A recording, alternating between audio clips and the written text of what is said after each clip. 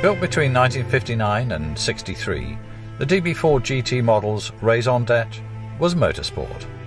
A shorter wheelbase chassis with lightweight construction, combined with a high-performance version of the famed all-alloy 3.7-litre six-cylinder Aston Martin engine, was announced at the London Motor Show in 1959, after a prototype DB4 GT had won its first competitive race and taken the lap record at Silverstone the same year, driven by the late Sir Stirling Moss. By the end of production in 1963, a total of only 75 DB4 GTs had been built and delivered to special order only. This motorcar, chassis 0127R, the car being offered, was constructed and delivered in October 1960 to John Wilkinson, a garage owner in Wrexham, Wales. Finished in sea green with smoke green Connolly hides, passing through two owners between 1968 and 73, the car entered the ownership of Simon Phillips, an accomplished UK based collector and gentleman racer whose motorsport career included competing five times in the Le Mans 24 Hours, as well as for the 1982 Viscount Downe entered Aston Martin Nimrod team. After a short period in Australia between 1983 and 91, 0127 was purchased by Nicholas Mee and Company from the Glenvarigill Motor Company in Scotland and sold to renowned collector and historic racer Hubert Fabry.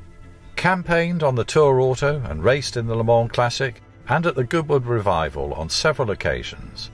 Drivers of 0127 include the late Sir Stirling Moss and Jack Brabham in the Tourist Trophy races. Sold by Fabry in 2003 to Lord Drayson, a renowned businessman, UK government advisor, avid Aston Martin race team owner, Le Mans entrant and sports car racer, 0127 was further campaigned in blue-ribboned classic motorsport events, including at Goodwood, Spa, Silverstone and Donington. Retired from racing duties, 0127 was sold in 2013 to a London-based car collector and connoisseur for a well-earned world-class restoration to original specifications and concours standards, with a brief to complete the restoration to a 100-point standard, a combination of the highly regarded services of body lines, spray tech restorations and post-vintage engineering were entrusted to complete the works with the completed car being delivered some two years later. The highly detailed and expertly carried out restoration works are well recorded photographically, on invoices, and in correspondence, all of which are contained within the accompanying history file. More recently, having covered just over 1,000 miles since the restoration, the car has subsequently been displayed in concours events, including at the 2020 Salon Privé Concours d'Elegance, winning the coveted Duke of Marlborough Award that year.